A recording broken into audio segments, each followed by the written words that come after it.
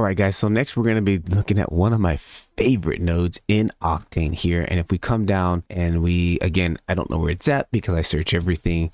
We come in here and we're going to go composite, composite texture. And this node right here is extremely powerful. Okay, so we're going to watch one of the videos from my Blender Octane 101 guide. It's a full course that I'm basically making to teach you how to use Blender Octane. For those of the members who are in the community, they get immediate access to videos as they're being released because I'm building the course as we go. So if you're interested in that, check the link down below. So this is going to basically allow us to uh, mix, like it's literally going to be compositing textures together. We're going to be able to blend like multiple textures together.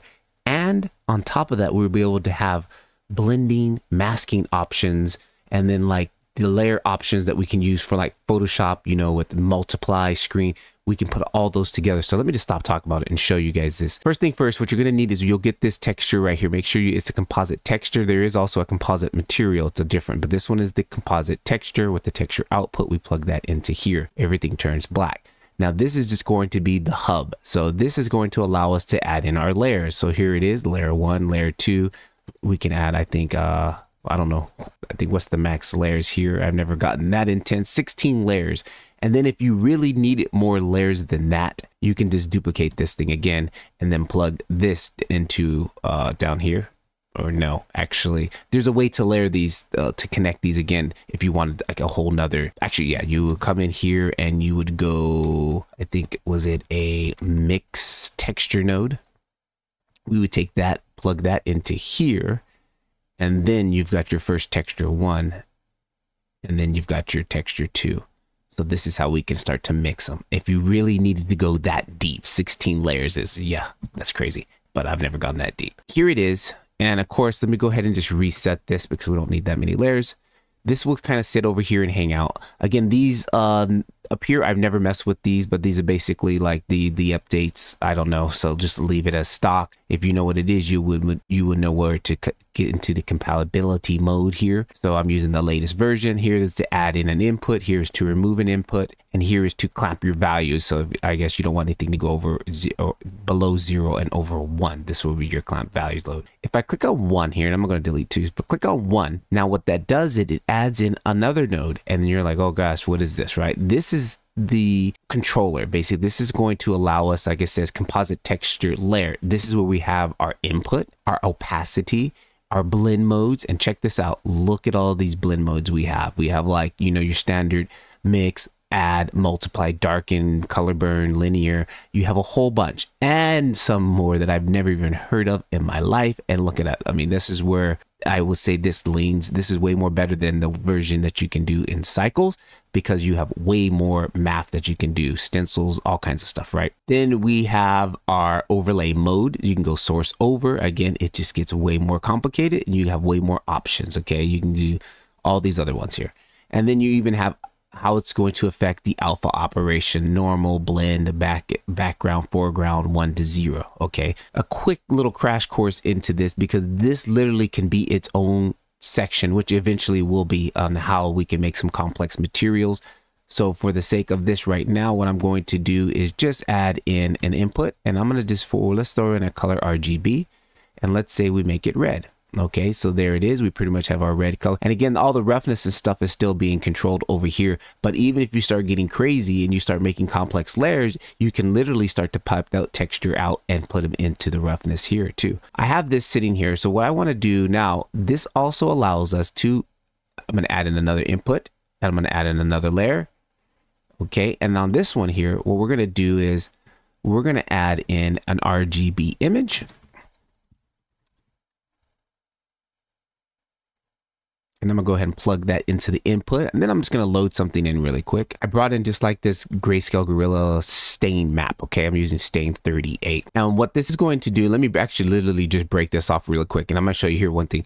We had it set to red up here and again, the second layer here kind of like overwrites the next layer. So like how we're not seeing the red anymore because on top, we're stacking this layer on top of that. And if I plug this into opacity, and let's say we take this and do an add or multiply or maybe I don't know what I'm talking about because I'm not seeing any. Let me update the, there we go. Sorry, make sure you update. If you're not seeing things, I tend to do that. I forget that. Make sure you update your viewer. And now what it did is, again, I'm using this as, an, as a mask and I'm piping this into the opacity and then we should set that back to normal. Good. And now you can see what I'm doing here. Boom, there it is. We have this material on top. Now I can also take this if I didn't want to do that.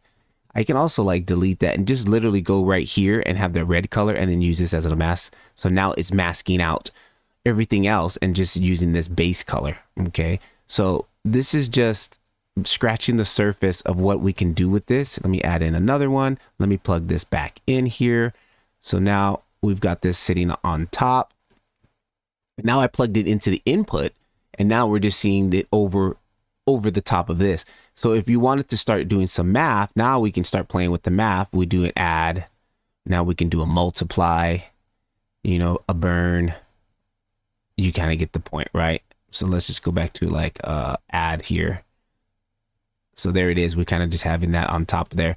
And then better yet, I can even take this, put this into the output here, take this, drag this down, change this to a different color, plug this in, and now there it is. You can see what we're really doing. So this is really how, and the continue on, we can add in another input.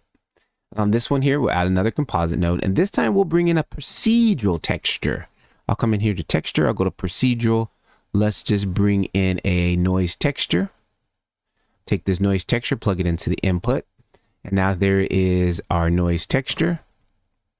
And again, I can play with these values here. Omega gives me more detail. Octaves, again, we'll get into that later on. We got other ones. We got turbulent circular chips, Voronoi, things like that. And you know, you can add in your UV transform and then you can come in here, start to play with your size and things of that sort. But I'm getting a little bit too much ahead of myself. So then again, we can come back in here and do some more math. And there it is now we're mixing kind of like playing with that. And then again you can kind of just repeat that process. Taking this bring this down here drop this over here. Maybe just change this to something different. And they all stack up. Now if we got our layers here and we can we can actually reorganize the order by if i want to take layer number one and move it to the top i can click on that and you see it moved the socket. Click on it again. Now it moved the socket. Now red is back on top. Again i can bring it down a layer and I can bring it back down to the bottom. Vice versa, if I take layer three, I can bring it down a layer, bring it, or actually bring it down a layer, layer three, down a layer, it drops. You got to watch these nodes because they kind of confuse you and then drop down again. And now this layer here is on layer one.